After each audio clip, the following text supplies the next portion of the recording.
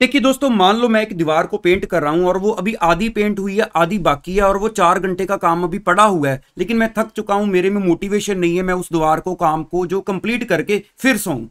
और मुझे किसी बंदे ने मोटिवेट किया कि यार तुम कर सकते हो, तुम कर सकते हो, तुम कंप्लीट कर सकते हो, मुझे पता है तुम्हारे अंदर कैपेसिटी है। अब मेरे अंदर सचमुच कैपेसिटी है कि मैं वो आधी दीवार को कंप्लीट करके सोऊँगा।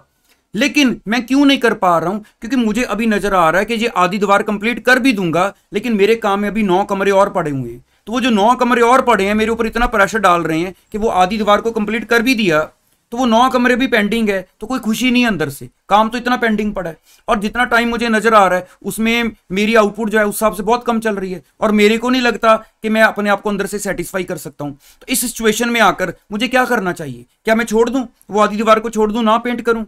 वो नौ कमरों के बारे में सोचूं, जो अभी पेंडिंग पड़े हुए हैं। तो यहाँ पर सही डिसीज़न क्या होगा कि मैं उस बंदे से पूछूँ जिसने मेरे को ये काम अलॉट किया कि सबसे पहले मुझे ये बताओ। अब ऐसा तो होगा नहीं कि अगर आपने मुझे दस कमरे पेंट करने के लिए दिए हैं, आपको सारा सामान दस के दस कमरे में इकट्ठा ही रखना है। कुछ मैनेजमेंट हो सकती है, कहता हाँ सबसे पहले अगर आप मुझे छः नंबर कमरा दे दोगे, हमारा चल जाएगा काम। जो गेस्ट आने हैं, वो छः नंबर कमरे में ठहरेंगे सबसे पहले आके। और हमने सबसे पहले वो आधी दीवार छोड़कर छः नंबर वाला कमरा खोला, और वो छोटे साइज़ का था। तो मुझे लगा, चलो, कम से कम ये दो घंटे में कंप्लीट हो जाएगा। ये पूरा कमरा ही मैं दो घंटे में कंप्लीट कर दूँगा। अब वो कमरा मैंने दो घंटे में कंप्लीट किया। अब मेरे को लगा, चलो, कम से कम कुछ काम तो कंप्लीट हुआ। गेस्ट आकर जहाँ पर रुकेंगे, उनको ये तो नहीं लगेगा कि इनका घर ऐसा आधा दूर है। उसके बाद मैंने पूछा, अब नेक्स्ट कहते, वो जो आधी दीवार छोड़ी हुई है ना, अब वो कमरा चाहिए। वो बड़ा कमरा है, जिसके ऊपर तुम्हें टाइम लग गया था। अब नेक्स्ट वो गेस्ट को वो वाला रूम चाहिए। तो मैंने बोला, चलो ठीक है, चार घंटे लगाओ वो को कंप्लीट करो, उसके बाद सो जाते हैं। अब थोड़ी सी माइंड में सेटिस्फेक्शन हुई कि चलो कुछ तो खत्म हुआ। अब उसके बाद मैंने पूछा कि अब नेक्स्ट आप ही बता दो कहाँ पर पहले आपको चाहिए। अब अगर मैं सीरियल ऑर्डर में चलना चाहूँ कि पहले दो करूँगा, फिर तीन करूँगा, फिर चार करूँगा तो ऐसे तो हो सकता है, पहले नंबर पर जो गेस्ट है, अब नौ नंबर में आने हो। तो वो कहता हाँ जी, पहले आठ और नौ चाहिए। तो मैंने बोला, चलो ठीक है, पहले आठ और नौ को कंप्लीट करते हैं। वो किया, उसके बाद मैंने बोला, कौन सा चाहिए? कहते, अब तीन को कर लो, अब आप पाँच को कर लो। मैंने उसी ऑर्डर में किया जैसे जैसे वो चाहिए थे। तो इस हिसाब से वो भी कुछ लेवल तक सेटिस्फाइड रहा और मैं भी मोटिवेटेड रहा और अल्टीमेटली वो काम फिनिश हो गया। लेकिन अगर मैं ये सोचता कि ना मैं वो दीवार कंप्लीट कर भी लूँ तो अभी नौ कमरे और पेंडिंग है तो छोड़ दो यार, बीच में ही छोड़ दो। सारा मज़ा ही काम का खराब हो गया, मज़ा ही नहीं आया।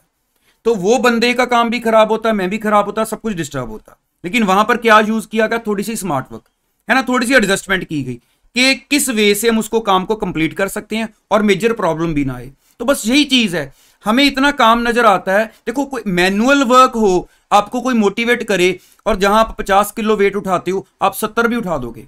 है ना, जोश जोश में। लेकिन यहाँ वेट उठाने वाली बात नहीं है जहाँ पर हमारा सिलेबस कवर करने वाली बात है।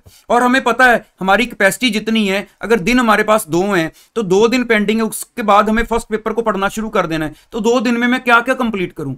तो दो दिन में कम से कम मैं वो एरिया की इंपॉर्टेंस वाइज उन एरियाज़ को थोड़ा सा देख लूँ। देखो नॉर्मली बच्चों को कंप्लेंट रहती है कि मैंने पहले इन चैप्टर्स को देखा था। अब एंड पर आकर टाइम ना होने की वजह से मैं छोड़ के जा रहा हूँ। तो ये प्रेशर आप अपने ऊपर लो। तो थोड़ा सा प्लानिंग के साथ चल पड़ते हैं। तो अगर उन चैप्टर्स को टोटली छोड़ दें दोबारा, उससे बेटर है कुछ एरियाज़ उनके देख लें। है ना? कुछ उड़ते उड़ते फॉर्मूले देख लें। पेपर में जाकर तो बहुत सारी चीज़ें जो हमने क्लास लगाई होती है, वो भी रिकॉल हो जाती हैं। तो थोड़ा सा उड़ता उड़ता देख लें, थोड़ी बेटर रिकॉल हो जाएँगी। तो ये कई बार अंदर से वहम होता है कि वो बिल्कुल ही ज़ीरो हो गया।